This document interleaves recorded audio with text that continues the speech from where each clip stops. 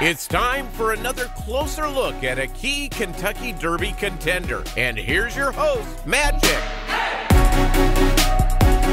Welcome to Racing.com. I'm Magic. He's Mike Somich, and Kentucky Derby Future Wager Pool 5 has officially begun. And Mike Somich, we've got an interesting group of 24 betting options here. Let's take a look. All of the three year olds is finally not favored because we're finally at the point where we can understand who's likely for the Kentucky Derby. Your favorite, number seven, Epicenter, 5 to 1.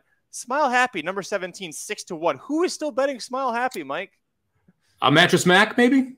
I'm not sure outside of that, but uh, he's got deep pockets and can affect these pools quite a bit. Yeah, it's interesting. This is the first time we're going to have the Bafferts that are involved here, um, kind of coming into the pool. So you're going to see for the first time Messier and a couple other horses that we haven't seen on this list before, and that's really negatively affecting that all of the three year olds, which now looks like a great number from the last pool because you're getting all of these Baffert horses coming in. Yeah, absolutely. We'll take a quick look here on the screen. This was how the odds ended for Kentucky Derby Future Wager Pool 4 just a few weeks ago, and all of the three year olds ended as the 4 to 1 favorite. And as you said, Mike, uh, the big reason that this is different Messier now officially on here at 8 to 1. Um, we also have White Abarrio at 8 to 1, who won the Grade 1 Florida Derby. So, looking at this initially, who stands out to you as offering value in Pool 5? Well, it's interesting. This is the first time the pool is going to close at 1:30 Eastern before all of the preps run on Saturday. I think that's a huge point here because it really depends on what you want to wager in those preps and how you want to take it on. Because if you look at two specific horses that we can focus on here, let's talk a little bit here about Messier. Let's let, talk a little about Forbidden Kingdom. You've got Messier, eight to one, Forbidden Kingdom, eight to one. Guess what? One of them's going to route the other. They're even money in six to five. You ain't getting eight to one on whichever one wins. So if you like one of them, it may not be a bad idea to throw a couple shekels here on the future pool because you're going to get a significantly better price on the winner of the Santa Anita Derby just a mere what three hours later than you would when on the Kentucky Derby day. So I think that's one way you can kind of look at this. Um, you know, if you like a horse like Crown Pride, you're not getting 50 to 1 on Derby day. I think that's somewhere that you can look and kind of take a shot at it.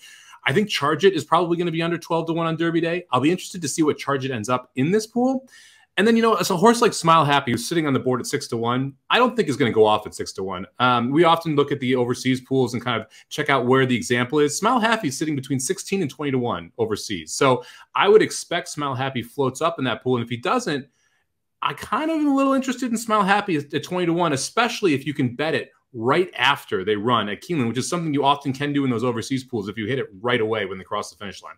Right, and it's a great reminder that the Kentucky Derby future wager pools that Churchill Downs puts on, they are limited to uh, betting with ADW stateside. So if you are an overseas or an international player, uh, you are not able to take advantage of this pool. However, you can get fixed odds on it, and sometimes that's where the value is. So, for example, a horse like Smile Happy, six to one, uh, the morning line here because of Mattress Mack will probably be very close to six to one, if not under six to one, when they finally end this on Saturday morning. This morning for me, uh, Mike. What about the international odds? Are there any fixed odds that you like, or that make you like a horse better than what you're seeing here?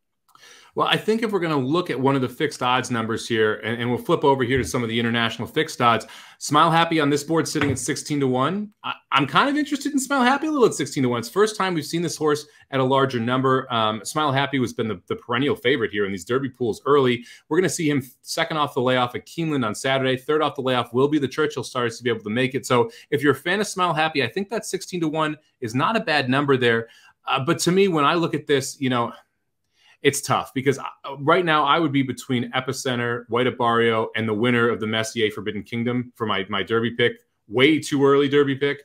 All of those are too short for me to really be interested in playing. I don't want to tie up money at six to one, nine to one, or ten to one on any of those horses when I don't know if they're going to really be in the gate. And I'm probably going to get half that on Derby Day, maybe a little bit better for some of these. Like, look, White Abarrio, the final time wasn't as great as we expected. My guess is he's going to be sitting on the board at seven, eight to one why lock in nine to one a month early? So you really got to be careful when you're playing these things. You know, if you like someone like Ethereal Road, if you like someone like Mo Donegal here sitting at 25 to one, he's not going to be 25 to one if he goes out and wins the wood on Saturday.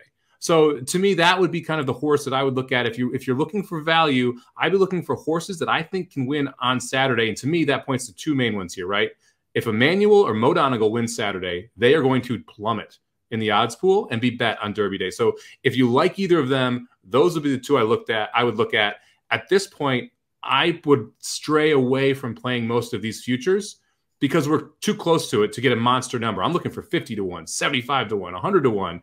Um, and we're just we're not getting any horses that I think are really really contenders at those numbers.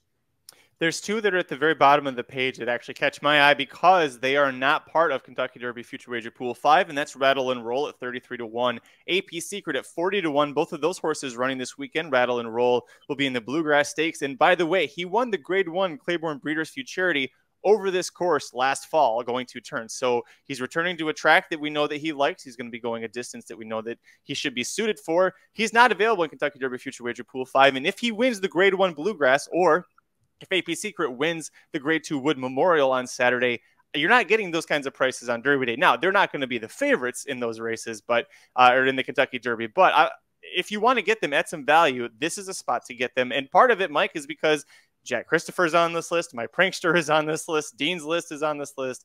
Uh, a lot of horses that we know are not going to be in the Kentucky Derby. Well, and this isn't even the full list either. That's one of the things about these overseas. I could, I could have scrolled down and gotten a whole other page, and all that does is eat the vig, right? So if you have horses that you can eliminate, it allows you to not pay as much juice on some others. Future Wagers generally are not great bets. Um, they're, they're usually the higher hold for most casinos and most offshore books. So uh, there's something you want to stray away from if you're not getting a big time number. But the other thing, like I said, is if, if you are watching these races on Saturday, right when the horses cross the finish line, you can often still get these odds. Um, and so it gives you the opportunity to say, okay, look, let's say I like Mo Donegal.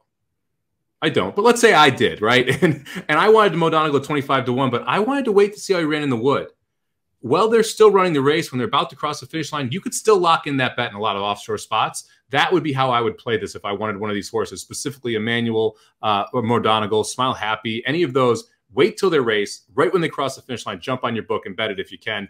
That's the most effective way to get a really good number and also protect yourself so that you have it before after the race instead of before the race.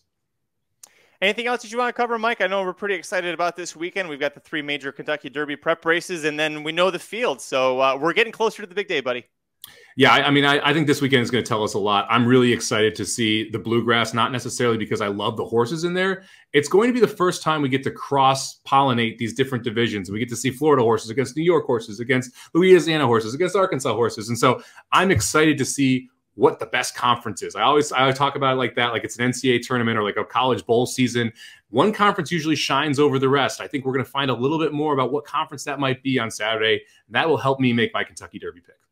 And fun fact seven of the last 10 horses to cross the finish line first in the Kentucky Derby were all based in California. So pay attention very closely to the Santa Anita Derby this weekend, as oh, well as the Wood Memorial and the Bluegrass Stakes at Keeneland. Head over to racenews.com. We've got you covered with free picks for every race, every track around the country. The inside track to the Bluegrass Stakes wagering guide is available for pre sale. And that race, that guide is going to include full coverage of Keeneland's Saturday card, as well as coverage of the Santa Anita Derby and the Wood Memorial. You'll have top four consensus picks from everybody on the team, including these two good-looking guys. Hit like if you like the video, subscribe if you like it. Tell us below in the comments what you think about Kentucky Derby Future Wager Pool Five. We'll see you at the track. This has been a presentation of RacingDudes.com, your destination for all things horse racing and sports betting. Whether you want free winners, expert insider picks, up to the minute trackside weather reports, or podcasts and videos for betters of all skill levels. Never make another wager without visiting the Racing Dudes. First,